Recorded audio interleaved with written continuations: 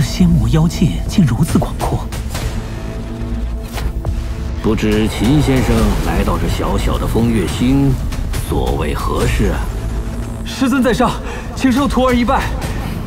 陛下，万寿普现世依属下拙见，应立刻布下天罗地网。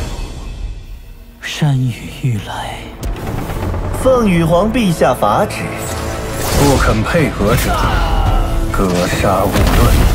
果然如草菅人命的强盗一般。拿下！